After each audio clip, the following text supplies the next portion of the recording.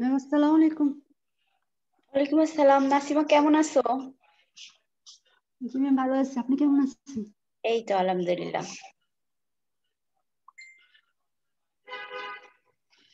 Online ক্লাসে সবাইকে স্বাগতম। আমি তোমাদের সঙ্গে আছি ইফাত আরা প্রভাষক সমাজকর্ম বিভাগ ঢাকা উইমেন কলেজ উত্তরা ঢাকা। আজ আমি তোমাদের ক্লাস নিব মাস্টার শেষ বর্ষের উচ্চতর সামাজিক গবেষণা পরিসংখ্যান, পঞ্চম অধ্যায়, পরিমাপের নীতিমালা। পরিমাপের যথার্থতা নিয়ে যথার্থতার প্রকারভেদ, যথার্থতা বৃদ্ধিকরণের পদক্ষেপ ও পরিমাপের নির্ভরযোগ্যতা এই বিষয়গুলো নিয়ে আজকে আমরা আলোচনা করব।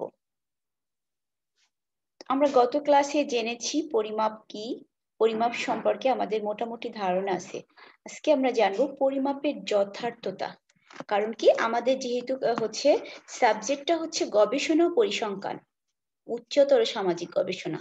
তাহলে এই গবেষণার কাজকে আরও বেশি সমৃদ্ধশালী এবং যুগোপযোগী, বিজ্ঞানসম্মত করার জন্যই কিন্তু আমাদের এই বিষয়গুলো জানা। এই যে তোমার পরিসংখ্যানটা, পরিসংখ্যানটাও কিন্তু এই যে গবেষণা কাজকে আরও বেশি সম্প্রসারিত করার জন্য। তাহলে আমাদের পরিমাপ জানা হয়েছে। আজকে জানব যে পরিমাপের যথার্থতা। পরিমাপ কি? পরিমাপটা কি মনে আছে? পরিমাপ হচ্ছে একটা প্রক্রিয়া যেখানে গবেষক সংখ্যাতাত্ত্বিক সংখ্যাতাত্ত্বিক বিষয় সংখ্যা বা হচ্ছে তোমার অন্য কোনো প্রতীককে নিয়মতান্ত্রিক ভাবে বাস্তব ভিত্তিক উপাদানে বিভক্ত করা। আর পরিমাপের যথার্থতা হচ্ছে, যথার্থতা বলতে কি বোঝায়? ধারণা আছে? পরিমাপের যথার্থতা বলতে পরিমাপের বিষয়কে সঠিকভাবে পরিমাপ করার ক্ষেত্রে। যথার্থতা বলতে পরিমাপের বিষয়কে সঠিকভাবে পরিমাপ করার ক্ষেত্রে পরিমাপ প্রক্রিয়ার সক্ষমতাকে বোঝায়। এখানে কি বোঝাচ্ছে যে যথার্থতা মূলত পরিমাপের জন্য। পরিমাপের যথার্থতা যথার্থতা পরিমাপের বিষয়কে সঠিকভাবে পরিমাপ প্রক্রিয়াকে সক্ষম করে তোলে সক্ষমতাকে। এটা নিয়েও বিভিন্ন মনীষী বিভিন্ন মতামত দিয়েছে যথার্থতা নিয়ে। আমরা দু একটা জানব। তাহলে যথার্থতা কি বুঝতে পারছ?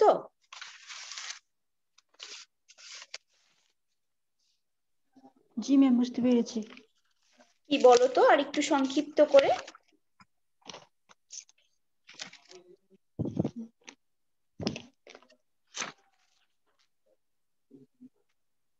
এটা মূলত এমন একটা বিষয় যে আচরণ অধ্যয়নের ক্ষেত্রে ব্যবহৃত যে ঘটনা একটা ঘটনার, ব্যবহৃত যে ঘটনা রয়েছে, সেই ঘটনার তাকে কীভাবে ব্যবহার করবে এবং একজন মানুষের আচরণ অধ্যয়ন করার ক্ষেত্রে যে প্রমাণাদি প্রমাণাদি সাধারণত নির্ভুলতার যথার্থতা নির্দেশ করে। একজন মানুষের আচরণের ক্ষেত্রে যে ঘটনা ঘটেছে, সেটার নির্ভুলতা প্রকাশ করা।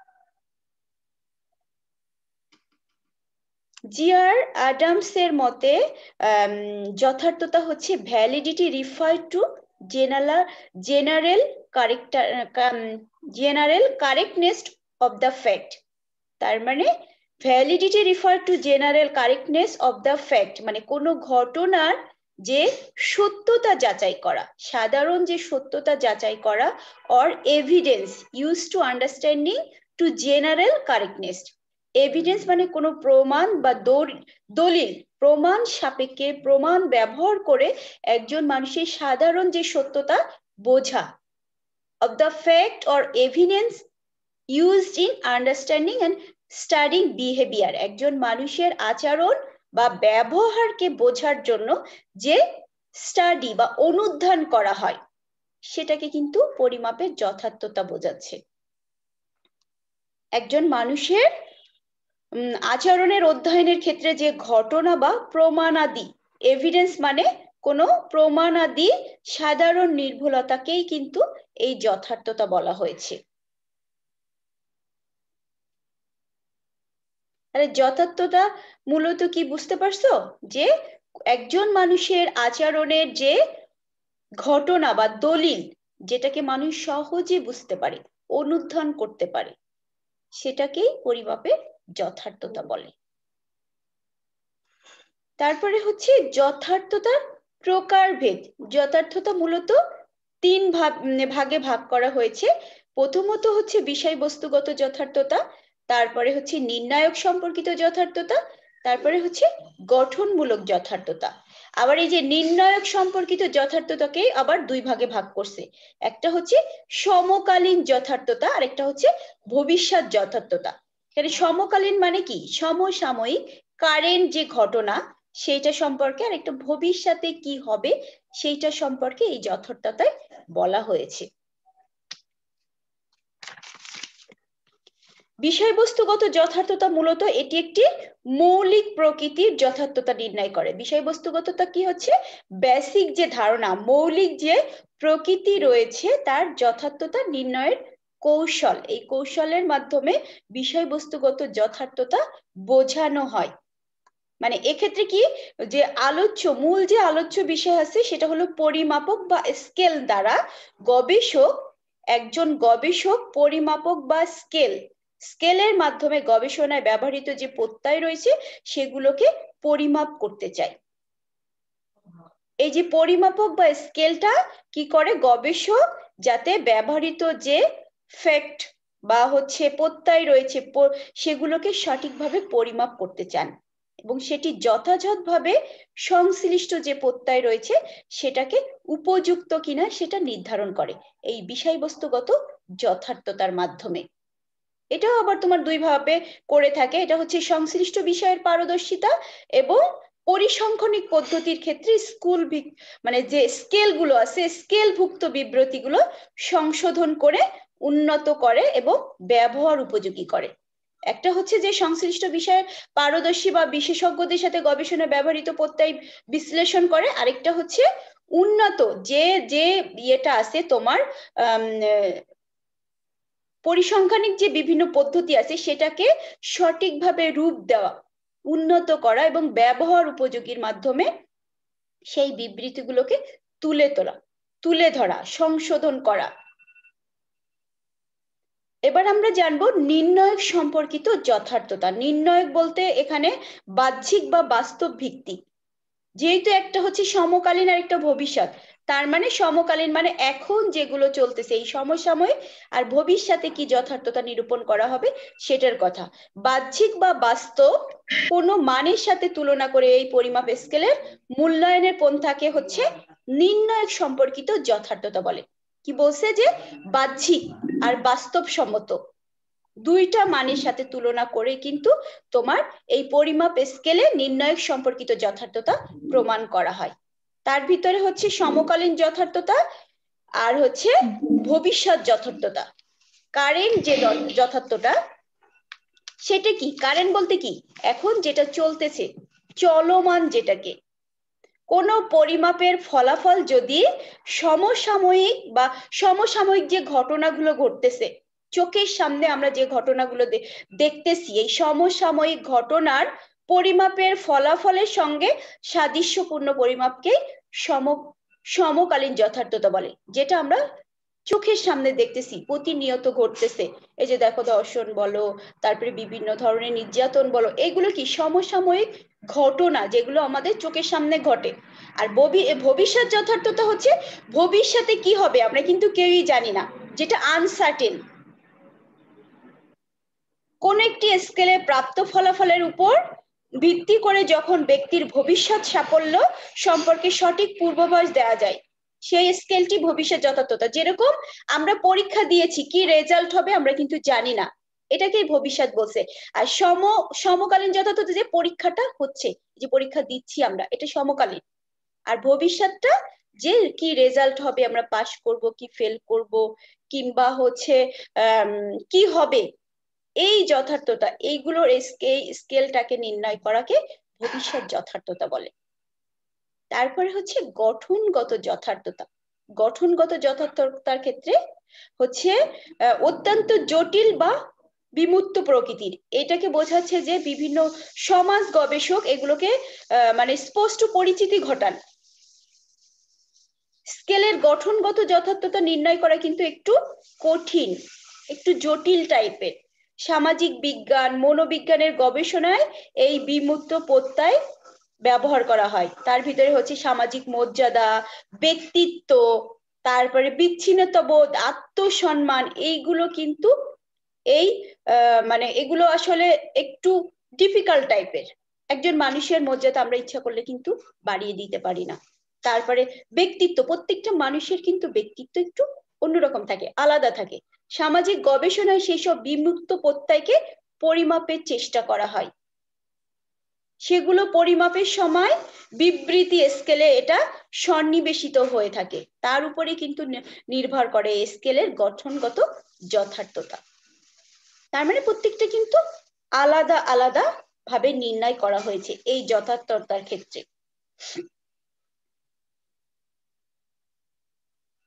তারপরে হচ্ছে যথার্থতা বৃদ্ধিকরণের জন্য কি কি পদক্ষেপ নিয়ে থাকে? পরিমাপের যথার্থতা কীভাবে বৃদ্ধি করতে হবে? পরিমাপের যথার্থতা বৃদ্ধি করার জন্য গবেষককে তার গৃহীত যে পরিমাপ পদ্ধতি রয়েছে এমন ভাবে নির্মাণ করতে হবে যাতে গবেষণাধীন সকল বৈশিষ্ট্য বা গুণাগুণ ঠিক থাকে বা আহরণ করা সম্ভব হয়। গুণ কিংবা তোমার বৈশিষ্ট্য কিন্তু অর্জন করতে হয়, আহরণ করতে হয়।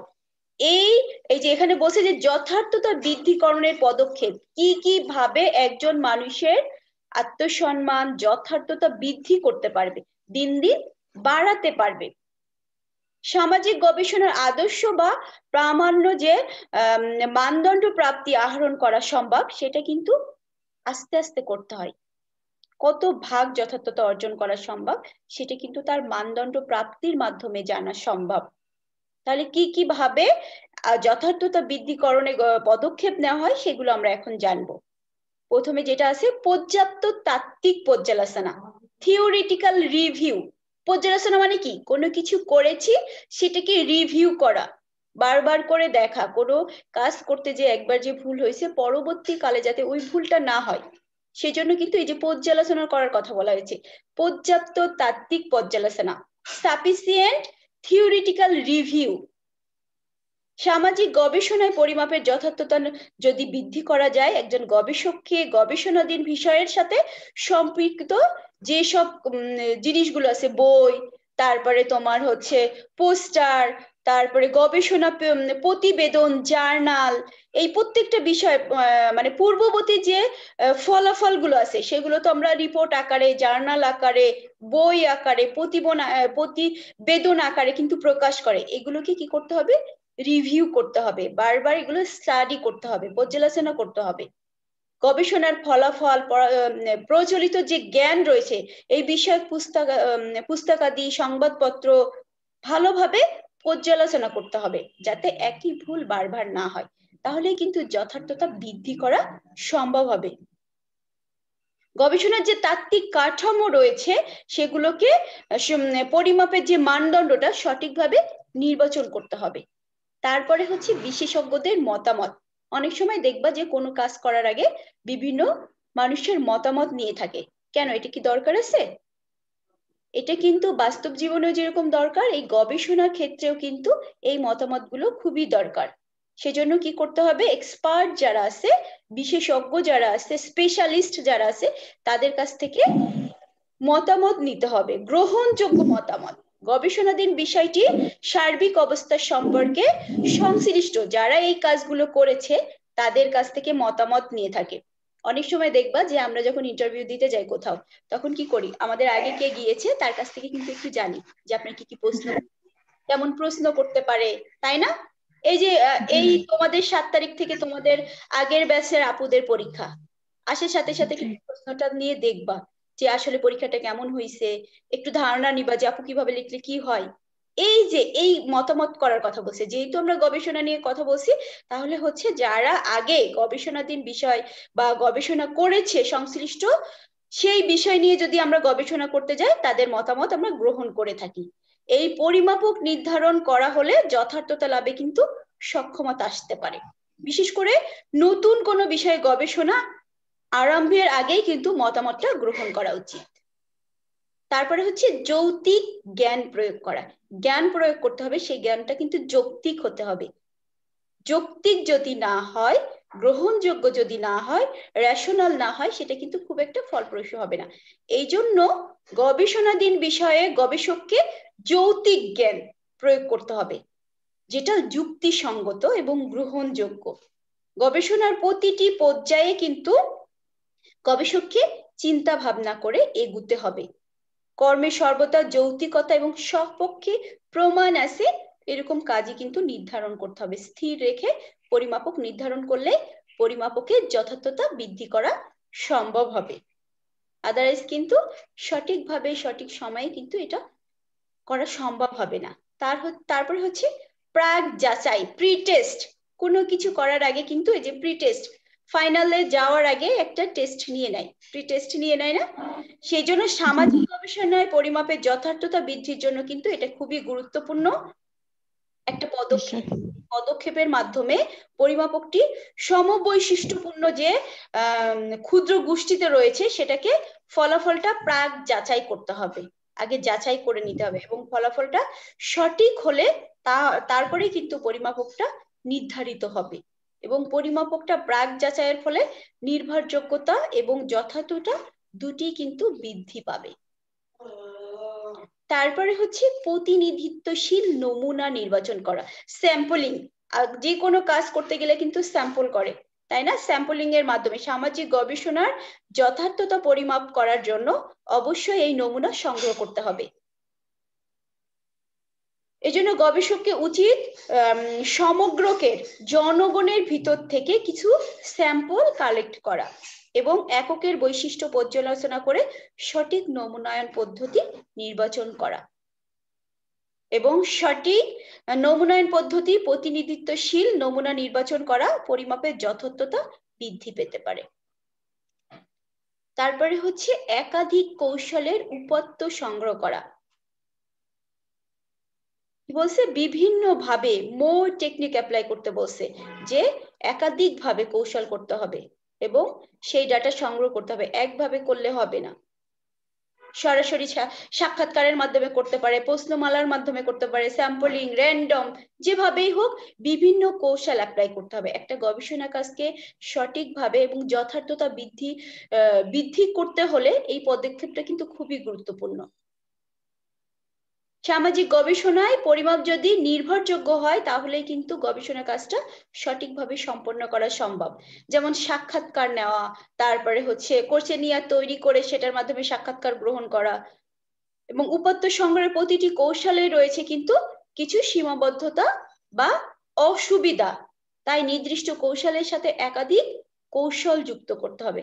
ধরো একটা ভাবে সরাসরি যখন আমরা প্রশ্ন করতে গেলাম, অনেকে অ্যান্সার দিতে চাচ্ছে না, তখন যেভাবে বিভিন্ন কৌশলের মাধ্যমে সঠিক তথ্যটা বের করে নিয়ে আসতেই পারলে কিন্তু গবেষণা কাজটা সঠিক হবে এবং এর মাধ্যমে যথার্থতা বৃদ্ধি করা সম্ভব হবে। এই জন্য একাধিক কৌশলের উপত্য সংগ্রহ করা একটা গুরুত্বপূর্ণ পদক্ষেপ।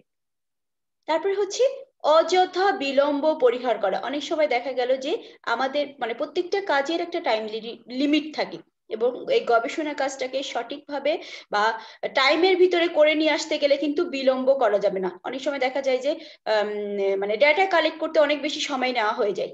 সেই জন্য এটাকে এই মানে অ্যাভয়েড করতে হবে আননেসেসারি ডিলে করা। যত সম্ভব স্বল্প সময়ের মধ্যে গবেষণার প্রয়োজনীয় উপত্য সংগ্রহ করে অনিয়ন্ত্রিত ঘটনাবহ এবং সময়ের পরিবর্তন জনিত যে ভিন্নতা রয়েছে সেগুলোকে পরিহার করতে হবে। তাহলে কিন্তু আদর্শ পরিমাপক সঠিক যথার্থতা সংগ্রহ করা সম্ভব হবে এবং এর মাধ্যমে যথার্থতা বৃদ্ধি করা যাবে। তারপরে হচ্ছে সৎ, অভিজ্ঞ চতুর উপাত্ত সংগ্রহকারী নিয়োগ। অবশ্যই যারা ডেটা কালেক্ট করবে তাদেরকে অভিজ্ঞ হতে হবে এবং অনেস্ট হতে হবে এবং খুব ইন্টেলিজেন্ট ক্লেভার যাতে যেভাবে ও উপত্যটা সংগ্রহ করা সম্ভবপর হয়। সামাজিক গবেষণায় পরিমাপের যথার্থ বৃদ্ধির জন্য এটা কিন্তু একটা গুরুত্বপূর্ণ পদক্ষেপ যথার্থতা বৃদ্ধিকরণের জন্য। সামাজিক গবেষণায় পরিমাপের যথার্থতা বৃদ্ধিতে সৎ, অভিজ্ঞ এবং চতুর উপাত্ত সংগ্রহকারী নিয়োগের মাধ্যমে এটাকে প্রাধান্য দিতে হবে। এবং কেননা উপাত্ত সংগ্রহের উপযুক্ত গুণাবলী থাকলে কিন্তু উপাত্ত প্রদানকারীর মনোভাব, তারপরে ব্যক্তিগত গোপনীয়তা, এই সতের কথা কেন বলা হচ্ছে? অনিষ্টি যদি না থাকে, দেখা গেল যে নিজেই একটা ডেটা নিয়ে এসে দিয়ে দিল। ফিল্ডে যায় নাই ক্লায়েন্টের কাছে যায় নাই, নিজেই একটা লিখে দিয়ে দিল। সেজন্য অবশ্যই তার ভিতরে এই ডাটা কালেক্টরের অবশ্যই অনেস্টি থাকতে হবে। আর পাশাপাশি অভিজ্ঞ থাকতে হবে। তাহলে কিন্তু যথার্থতা বৃদ্ধিকরণে এই পদক্ষেপটা কাজে লাগবে। এগুলো পদক্ষেপ ছাড়াও যদি তোমাদের মনে হয় আরও কিছু পদক্ষেপ অ্যাড করা দরকার, তোমাদের জানা আছে, অন্যান্য বই থেকেও এগুলো কালেক্ট করতে পারো। কিন্তু এই, এগুলো কিন্তু প্রত্যেকটাই হচ্ছে ইম্পর্টেন্ট বাদ দেওয়া যাবে না এখান থেকে। তারপরে হচ্ছে নির্ভরযোগ্যতা পরিমাপের পদ্ধতি। নির্ভরযোগ্যতা পরিমাপের পদ্ধতি আবার তোমার তিনটি ভাবে ভাগ করেছে। একটা হচ্ছে পরীক্ষা পুনঃ পরীক্ষা পদ্ধতি। Test retest method. পরীক্ষা বা পুনঃ পরীক্ষা পদ্ধতিতে একই স্কেল বা পরিমাপক পরপর দুইবার একই সমগ্র বা জন মানে যে জনগোষ্ঠী আছে, সেইগুলোর উপর প্রয়োগ করে ফলাফল তুলনা করা হয়। কি করা হয়? যে একই জায়গায় একই জনগোষ্ঠীর। যেহেতু আমাদের কাজ হচ্ছে জনগণকে নিয়ে, জনগোষ্ঠীর উপর পপুলেশনের উপর প্রয়োগ করা হয়। পরীক্ষা এবং পুনঃ পরীক্ষা একজন দেখা গেল তোমার রিপোর্ট নিয়ে আসলো, কিছু তথ্য নিয়ে আসলো। সেটা আবার পুনরায় নিয়ে আসা। দেখা যায় যে অনেক সময় ভুল তথ্য নিয়ে চলে আসতে পারে। মানুষকে কেউ কোনো ক্লায়েন্টের কাছে গেলেই কিন্তু যাওয়ার সাথে সাথে তোমাকে ইনফরমেশনগুলো কিন্তু দিয়ে দিবে না। এই জন্য যে সেই পরীক্ষাটাকে আবার যাচাই করার জন্য পুনঃ পরীক্ষা করা হয়। যদি দুইবারই একই বা প্রায় একই ফলাফল পাওয়া যায়, তাহলে কিন্তু সেটা গ্রহণযোগ্য হবে। তাহলে স্কেল বা পরিমাপকটিকে নির্ভরযোগ্য বলা যাবে। যে স্কেলের মাধ্যমে ক্লায়েন্টদের কাছ থেকে ইনফরমেশন কালেক্ট করতে হবে, পরপর যদি দুইবারই একই তথ্য আসে, সেই তথ্যটা কিন্তু গ্রহণযোগ্য হবে। এক্ষেত্রে সত্য দুটি হলো, পরীক্ষার মধ্যে সময়ের ব্যবধান বা ঘটনা প্রবাহের পার্থক্য যেন না ঘটে। খুব বেশি পার্থক্য করা যাবে না। ধরো, আজকে ডাটা কালেক্ট করে গেল, কোনো একটা ঘটনা ঘটছে। যদি সেই ঘটনা ঘটার ছ মাস পরে কালেক্ট করা হয়, তাহলে কিন্তু তথ্যটা চেঞ্জ হয়ে যেতে পারে। সেজন্য কি করতে হবে? ধরো, আজকে যদি তথ্য কালেক্ট করা হয়, এক সপ্তাহ কিংবা পনেরো দিন পরে আবার সেই তথ্য এবং দুইটা তথ্যর যদি মিল থাকে, সেটাই গ্রহণযোগ্য হবে, নির্ভরযোগ্যতা বলা হয়। সেই জন্য নির্ভরযোগ্যতা পরিমাপের স্কেলটাকে গুরুত্ব দেওয়া হবে। দুই পরীক্ষার ফলাফলের মধ্যে গুণগত বা সম্বন্ধগত যে নামক পরিসংখ্যান পদ্ধতি ব্যবহার করা হয়, সেটা সমতার মাত্রাটা নির্ণয় করা হবে। তারপরে হচ্ছে বহুবিধ রূপ পদ্ধতি। বহুবিধ মানে রূপ বলতে কি বোঝাচ্ছে? রূপটা কি? হুম? এখানে কিন্তু রূপ বলতে ওই যে রূপবতী গুণবতী এই কথাটা বোঝায়নি। এটা বোঝাচ্ছে? এই রূপটা কি? তার মানে মাল্টিপল বহুভাবে বহুবিধ রূপ পদ্ধতি। এই যে মানে বিভিন্ন পদ্ধতি অ্যাপ্লাই করে যে তথ্য কালেক্ট করা হয়। মাল্টিপল মেথডের কথা বলা হয়েছে। মাল্টিপল ফর্ম মেথড নির্ভরযোগ্যতা পরিমাপের এই স্কেল এই পদ্ধতিতে স্কেল বা পরিমাপকে দুইটি রূপ তৈরি করা হয়। একই সমগ্র মানে একই জনগোষ্ঠী যাদের নিয়ে কাজ করা হয়, তাদের উপর স্কেলে দুইটি রূপ, একের পর এক প্রয়োগ করে নির্ভরযোগ্যতা যাচাই করা হয়।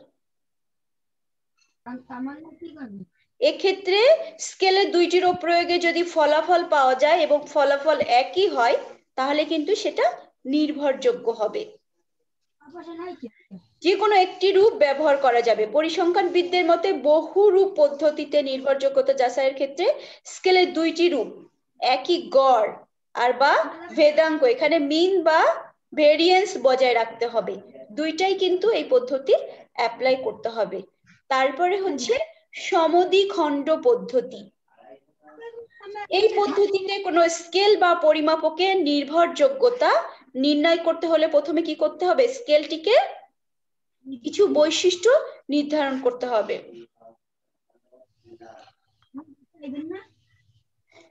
এই পদ্ধতিতে কোন স্কেল বা পরিমাপকে নির্ভরযোগ্যতা নির্ণয় করতে হলে স্কেলটিকে যেমন স্কেলের বিবৃতির ইতিবাচক এবং নেতিবাচক মাত্রা।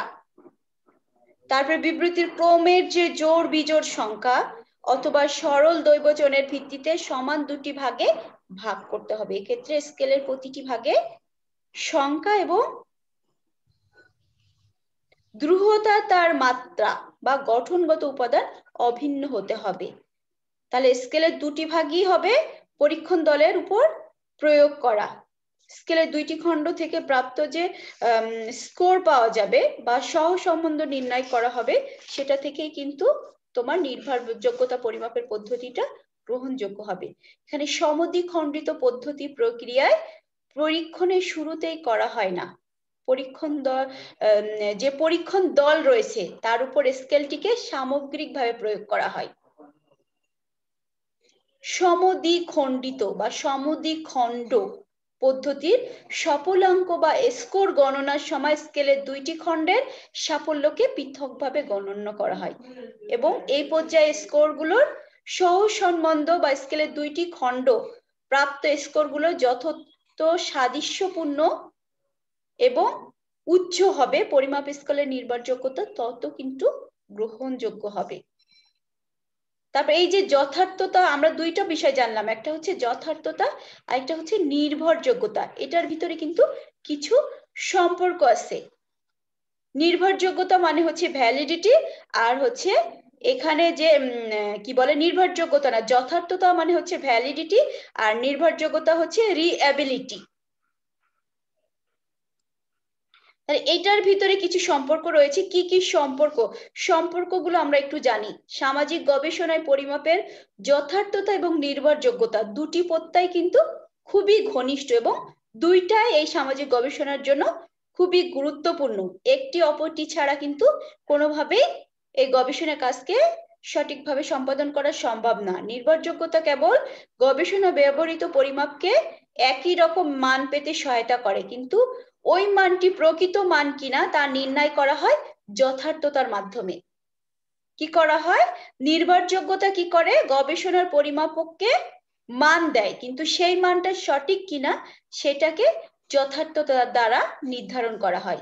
সেই জন্য দেখা যাচ্ছে যে পরিমাপের সাথে যথার্থতার আর হচ্ছে নির্ভরযোগ্যতার একটা সম্পর্ক রয়েছে। বাইরের মানদণ্ডের সাথে নির্ভরযোগ্যতা এবং পরিমাপের অভ্যন্তরীণ বিষয়গুলোর সাথে একটা সম্পর্ক রয়েছে। দুইটার সাথে দুইটা সম্পর্কযুক্ত নির্ভরযোগ্যতা এবং যথার্থতা। সামাজিক গবেষণায় ব্যবহৃত অনেক পরিমাপক স্কেল নির্ভরযোগ্যতা অর্জন করতে পারলেও কিন্তু যথার্থতা অর্জন করতে পারেনি। এজন্য পরিমাপের যথার্থতা এবং নির্ভরযোগ্যতা প্রত্যয় দুটির মধ্যকার কিছু পার্থক্য রয়েছে। স্কেলের মাধ্যমে তুমি নির্ভরযোগ্যতা পাবে, কিন্তু যথার্থতা পাবে না। সেটার জন্য কি করতে হবে? যে দুটি পদ্মার ভিতরে আন্ত যে সম্পর্ক রয়েছে, সেই সম্পর্কটাকে গড়ে তুলতে হবে। একজন নির্দিষ্ট ব্যক্তি একটা নির্দিষ্ট পরিমাপক ওজন নিক্তি দিয়ে দশ বার শরীরের ওজন নিলেন। প্রতিবারই তিনি দেখলেন যে তার ওজন কিন্তু সত্তর কেজি হয়েছে কিংবা পঞ্চাশ কেজি হয়েছে এটি সত্যি কি তার ওজন? এই পরীক্ষা থেকে নিশ্চিতভাবে যে পরিমাপকটি বা ওজন, সেটা কিন্তু নির্ভরযোগ্যতা এবং যথার্থতা। যদি এমন হতো যে প্রতিবার ব্যক্তিটির ওজন পঁয়ষট্টি কেজি পাওয়া যেত, তাহলে কিন্তু পরিমাপটির ওজন নিক্তি নির্ভরযোগ্যতা কিন্তু যথার্থতা হতো না। সেই জন্য কিন্তু এই দুইটার ভিতরে একটা সম্পর্ক রয়েছে।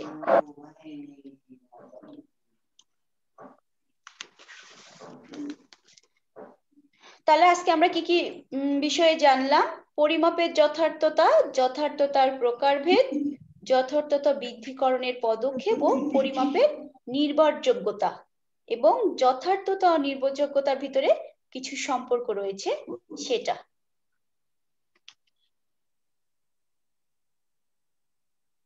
ম্যাম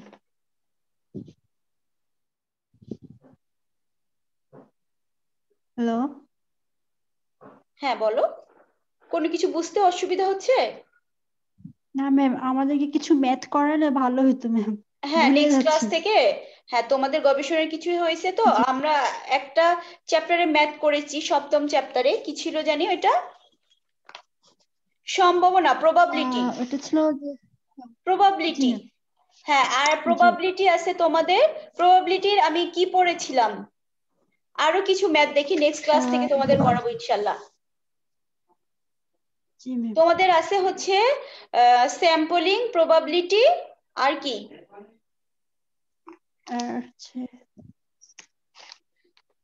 সিলেবাস আছে? দাঁড়াও আমি দেখি। ইনশাল্লাহ নেক্সট ক্লাস থেকে তোমাদের দেখি কিছু কিছু করে ম্যাথ করাবো আসলে সত্যি কথা বলতে এই যে অনলাইনে কিন্তু এই এগুলোতে ম্যাথের যে ইয়েগুলো করা কিন্তু একটু ডিফিকাল্ট হয়ে যায়। যেরকম টাইপ করার ক্ষেত্রে তোমার মুখে মুখে বলতে হবে আর বুঝতে হবে। কারণ এখানে তো তো আমি বোর্ডও ইউজ করতে পারতেছি না।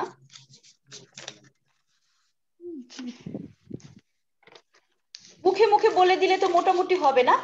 দাঁড়াও আমি দেখি। স্যাম্পলিং আছে স্যাম্পলিং ডিস্ট্রিবিউশন তারপরে প্রবাবিলিটি প্রবাবিলিটি ডিস্ট্রিবিউশন আর Index স্যাম্পলিং ডিস্ট্রিবিউশন আর হচ্ছে ইন্ডেক্স নাম্বার তাহলে আমরা নেক্সট ক্লাসে ইন্ডেক্স করি হ্যাঁ? দশম অধ্যায়। ঠিক আছে। আসলে তোমাদের কিন্তু ডিরেক্ট এইভাবে অঙ্ক ইয়ে করে আসে তোমার কিছু থাকে তোমার শর্ট শর্টগুলো যেগুলো থিওরিটিক্যাল থাকে ম্যাথ থাকে মনে হয় দশ নাম্বারের তাই না? জি।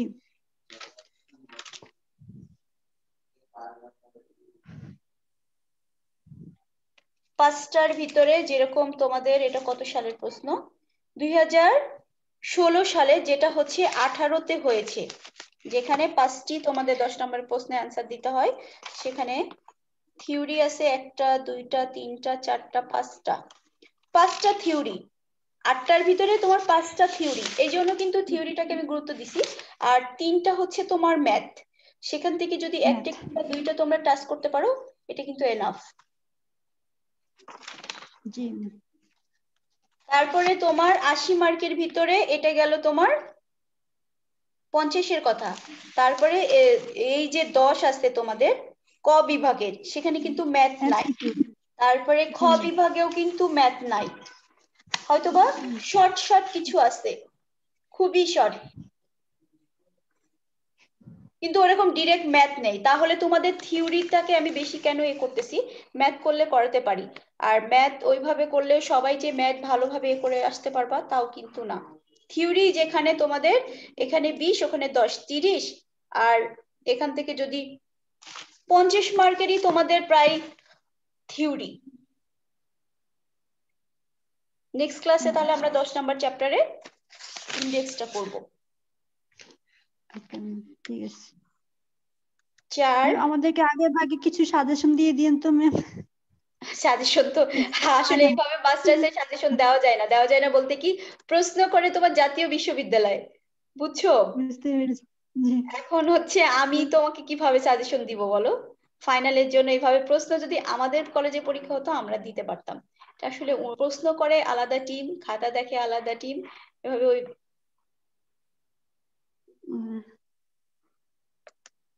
তবে তোমাদের একটা দুইটা অঙ্ক যদি করে দিই তখন তোমরা ওই ক্যাটাগরি যত অঙ্ক আসবে ইনশাল্লাহ করতে পারবে। আচ্ছা। আচ্ছা ম্যাম আমাদের তো শুধু চারটা চারটা ক্লাস হয় এক দুই তিন চার। এই- এই মাস শুধু আপনার ক্লাস হয়েছে আর স্যারের ক্লাস হয়েছে আর ম্যাম বাকিগুলো তো হচ্ছে না। বাকিগুলো হচ্ছে না না?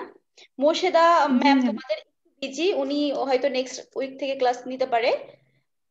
তারপরে দেখি কথা বলব। আর টিচার তো বলো। আর অন্য সাবজেক্টগুলো তো আমরা টাচ করতেছি না বিকজ ক্লাস হচ্ছে না যে এই জন্যে ক্লাস হচ্ছে না না? আচ্ছা ঠিক আছে দেখি হচ্ছে আমাদের পরবর্তী আমাদের তো মনে হয় চার তারিখ থেকে কলেজ খুলে যাবে। খুলে যাওয়ার পরে তোমরা কলেজে আসবে আর যদি অনলাইন ক্লাস কন্টিনিউ থাকে তাহলে তো ইনশাল্লাহ তোমাদের সাথে দেখা হবে। আর দেখি আপাকে বলব বাকি ক্লাসগুলো আমাদের সবারই টুকটাক করে ভাগ করে দিলে আমরাই নিয়ে নিব। জি। রোল চার আসো না? নাসিমা আর হালিমা আক্তার সাত। ফরিদা ফরিদা তোমার রোল কত?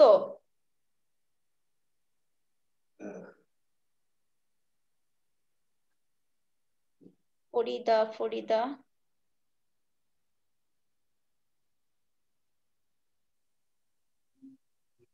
আমিনা আছে।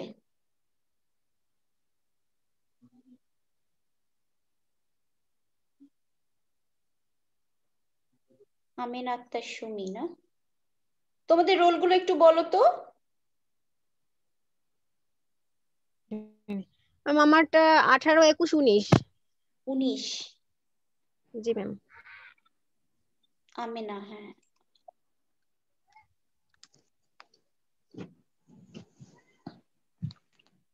ম্যাম আমারটা আঠারো একুশ শূন্য- শূন্য চার। হ্যাঁ নাসিমা তোমার দিয়েছি হালিমারটা দিয়েছি আর ফরিদা তোমার কত? ম্যাডাম সতেরো একুশ একশো এক। তুমি তো মনে হয় পরের ব্যাচের না? না ম্যাডাম আগের ব্যাচের ছিলাম। কিন্তু ম্যাডাম আমি তো সবসময় মানে ক্লাস করতে পারতেছি না তো। আচ্ছা ম্যাডাম আচ্ছা আমার তো আগের গ্যাপ ব্যাচের গেছে। মানে এই ব্যাচে না সতেরো একুশ? একশো এক। সতেরো একুশ একশো। সতেরো একুশ একশো এক নাকি হচ্ছে সতেরো একুশ শূন্য এক? ম্যাডাম শূন্য এক সরি তাই বলো। ফরিদা তুমি কি হচ্ছে ইয়েদের ব্যাচ রাইসাদের ব্যাচ ম্যাডাম হচ্ছে ইয়ে নাইমাদের ব্যাচের রিমা আছে না ম্যাডাম? রিমা ওদের ব্যাচের আচ্ছা আচ্ছা। ফরিদা ইয়াসমিন। জি জি ম্যাডাম।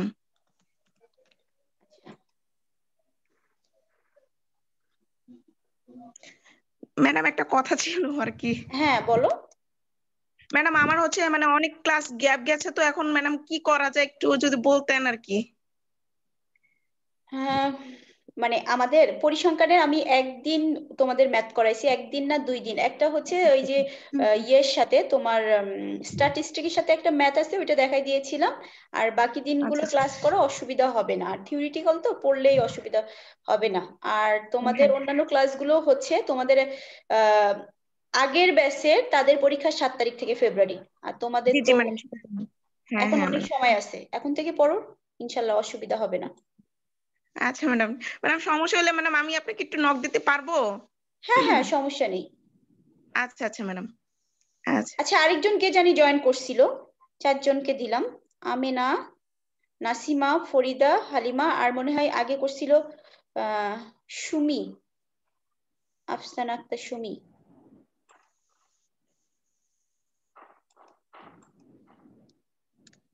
ঠিক আছে তাহলে আজকে এই পর্যন্ত হ্যাঁ? থ্যাংক ইউ জি ম্যাডাম আসসালামু আলাইকুম ম্যাডাম আল্লাহ হাফিজ ওয়ালাইকুম আসসালাম আসসালামু আলাইকুম ওয়ালাইকুম আসসালাম